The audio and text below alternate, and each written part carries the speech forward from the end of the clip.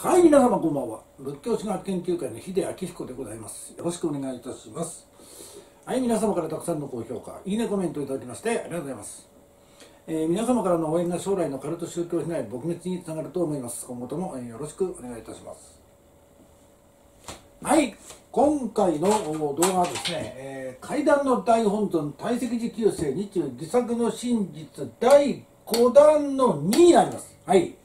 えーこのシリーズなんですけれども、大石寺旧世日中が階段の大本尊を自作造立した証拠のシリーズなんですが、この第5弾はですね、階段の大本尊の素質はいつであるのかという検証なんですよね。はい。で、今回はこの第5弾の2になります。はい。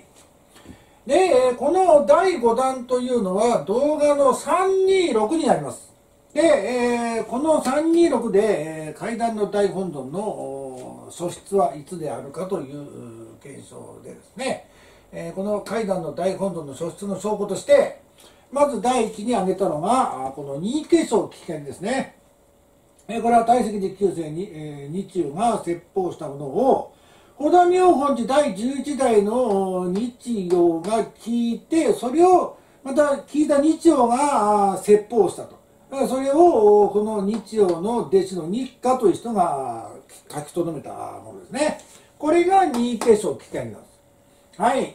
えー、日曜曰く、また曰く、えー、体積は父の寺、おもすは母の寺。父の体積は本尊堂、おもすは三重堂。体積は本願堂、おもすは本人堂。かは直願寺、これは祈願寺。かは初回、これは納会。かは初相、これは納相。即本因本が本国土明の三名王論の字の階段なりと、えーこの文でございます。えー、富士、えー日光少年書店の294ページから295ページにかけて載っております。もうこれ何度もこのチャンネルで、えー取り上げておりますね。えー動画298、えー動画301、動画324、動画326、動画413などなど何度も出てきておる文献でございます。で、これが、あ階段の大本尊の素質であると。で、これはどこが素質なのかというと、この字の階段ですね。えー即本意本が本国土明の三名号論の字の階段なりということで、この字の階段は本門階段の大本尊の在所の字の階段だということでございます。はい。えー、従って、ここに、えーさらに、えー父の体積は本尊堂という本尊堂が出てきておるということで、この二化粧聞き書きが体積で旧世日曜の代に初めて出てきた証拠ということで挙げております。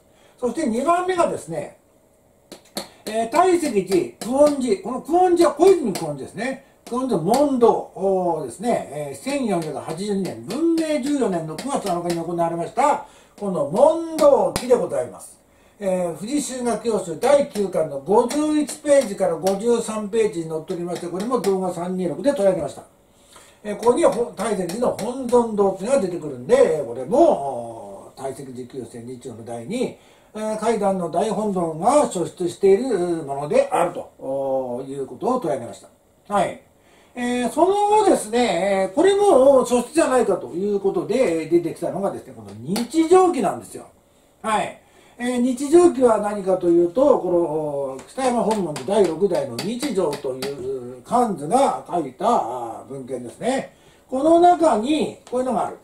大石寺日中役、おもすは正民営道正位、大石寺は本堂正位なり、ゆえに、国主本門の総門を建てられる時は、この板本尊、すなわち本門階段の本尊と云々と。しかり日中階段の本会に背き未聞未見の板本尊を彫刻し直国荘厳の儀装を作るというね、えーこれ有名な文でございます、えーここにですね大石寺は本堂勝位えーこの板本尊すなわち本門階段の本尊と云々とかですね。あるいは未聞未見の板本尊というのが出てくるんでこれもあー大,、えー大石寺旧世日曜の代に、えー階段の大本尊が素出している証拠ではないかということなんですがまさにそうですね。これも素出の文献なんですよ。はい。で、えーこれを動画326に入れなかったのはあ別にこれは素質じゃないという意味じゃなくて、えーまだこの時はあ日常期の検証終わってなかったんで入れなかっただけなんですよね。はい。えー、で、えー、もう日常期はこの会談の大本堂大石寺旧世日中義作の走行であるという検証が終わってますんで、えー、これも大石寺旧世日中の第2会談の大本尊が所出するその文献の中に入るということになりますね。はい。これも大石寺旧世日中の第2所出する証拠になります。だからまあこれ日常記を入れても入れなくても階段の大本尊が大石寺旧世日中の第に素出しているということに変わりはありません。はい。ということでございます。はい。で、その他にですね、えー、この大石寺の階段の大本尊がですね、えー、いろいろ素出している、えー、文献があるということを言っている人がおりますんで、それを検証してまいりたいと思います。だからこれは間違った検証なんですよね。はい。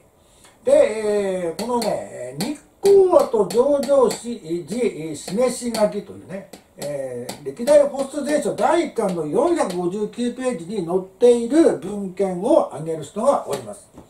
えー、これはですね、大石寺14世日種というホッスが書いた文献で、この中に本門階段五本尊という、えー、単語が出てくるわけでございます。はい。えー、それがどれかというと、これなんですよ。はい。これがですね、えー、日光和と上場寺示し書きということで、小本、大石寺にあるということです。で、書いたのは、あ大石寺14世の日種というホスですね。だから、えー、第14世日種ですから、第9世日種の後のホスなんですよ。はい。で、ここにですね、本門階段五本尊という単語が出てくるんですよ。はい、ちょうどここのところですね。はい。ここに本門階段五本尊という単語が出てくるんで、これが素質じゃないかと言ってるのがですね、えー、富士門流執着軍団の蓮という人物でありまして、えー、これが、あの、岩っちの文で そういうことを言ってるんですよ。はい。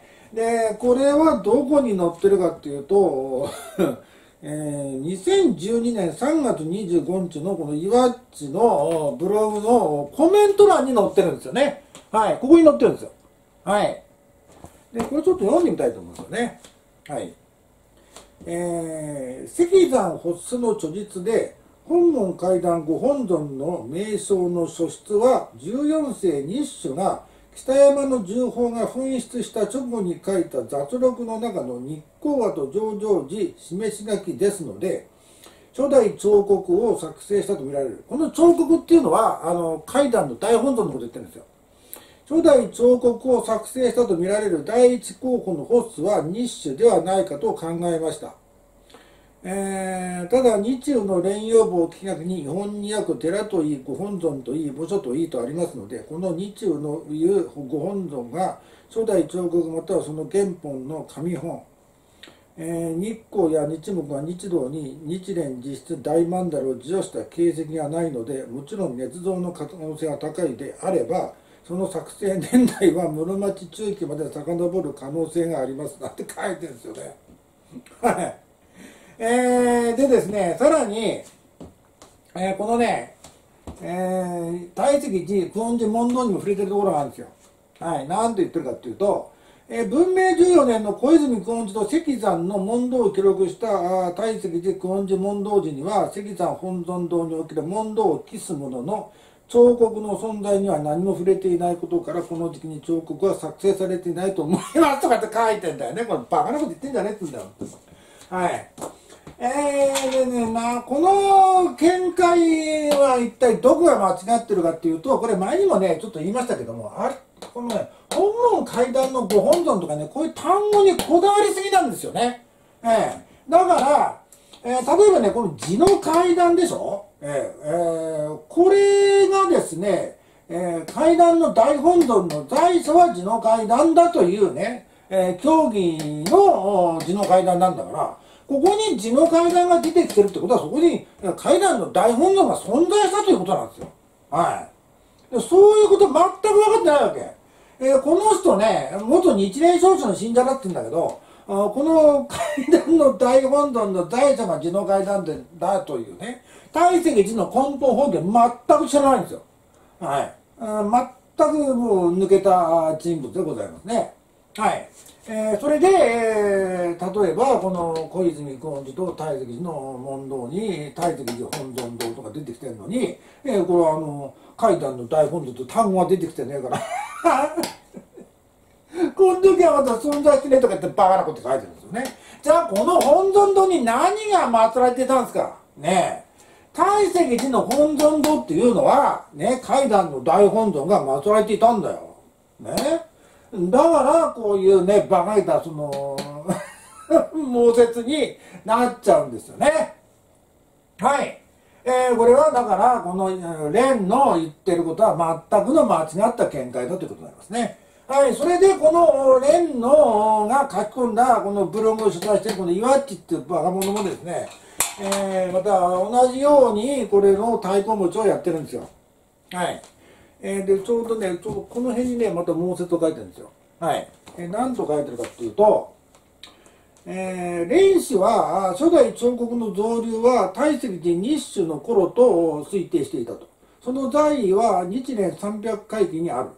観測図日見統計諸問流系図のことの記録を考え合わせるともしこの時期に造立されたとしても熊田本に載る写真のものとは別のものと考えられるわけわかんないこと言ってますね。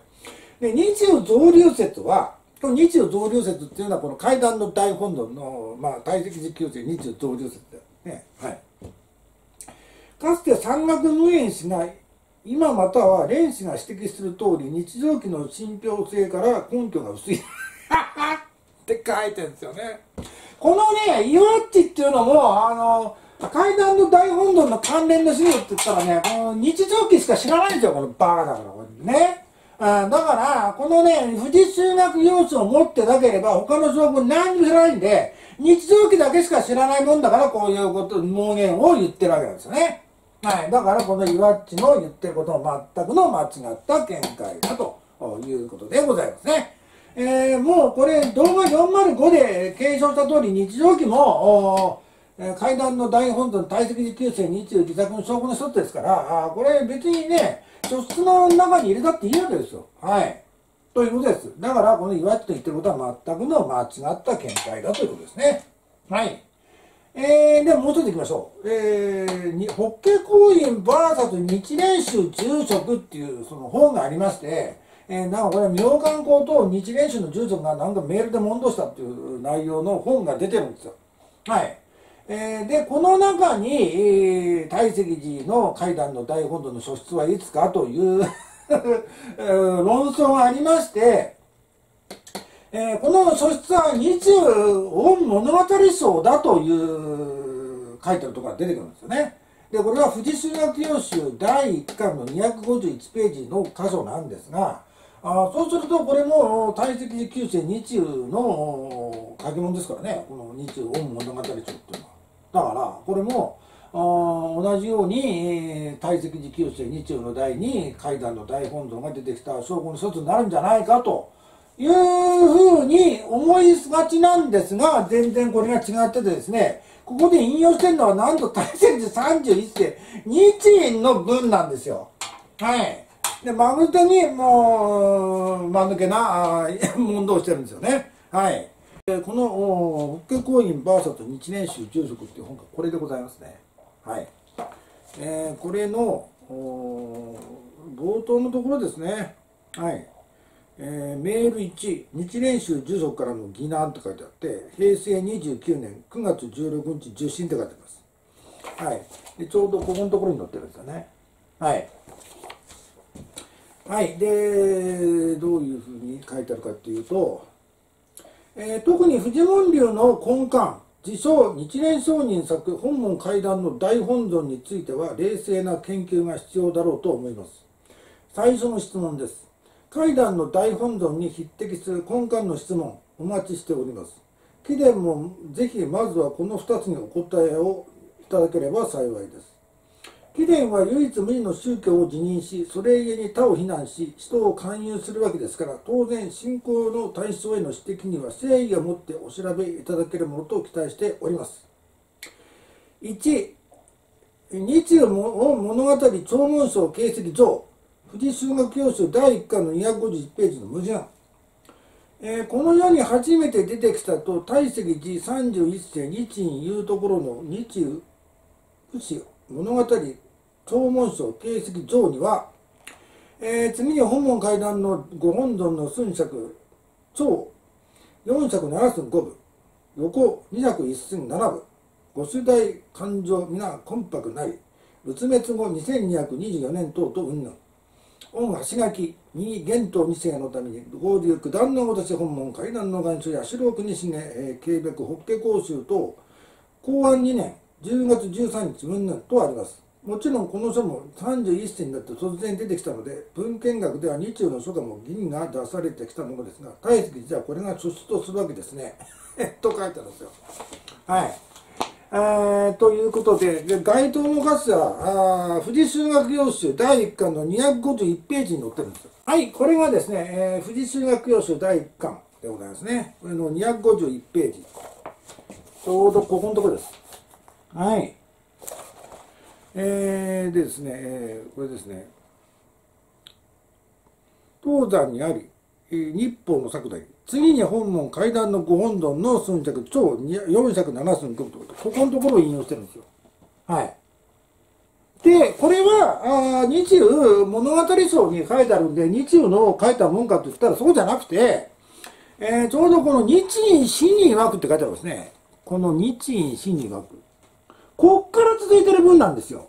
で、日中が書いた、大石寺九世日中が書いた文はこの2行だけでありまして、この次の、また、あの日印死に枠からは、大石31世日印が書いた文なんで、ここからでーっと繋がってるんですよね。はい。なので、これね、あの、日中が書いた文じゃなくてですね、えー、体積で31世日印の文なんで、これね、あの大石寺九世日中の第に階段の大本堂が出てきた文ではないんですよね。はい。だからこれは別に素質の文ではないんですよ。えー、階段の大本堂の素質の文とは全く関係がない文でありまして、えー、こんな文を出してて、素質がどうのこうのっていう論争は誠に的外れの、論争だということになるわけでございます。えー、今回の検証はここで締めさせていただきたいと思います。はい、えー、ご覧になられました皆様どのように思われましたでしょうか、えー、またご意見を寄せいただけたら幸いでございます。はいそれではまた次回の動画でお会いしたいと思います。本日も最後までご覧いただきましてありがとうございました。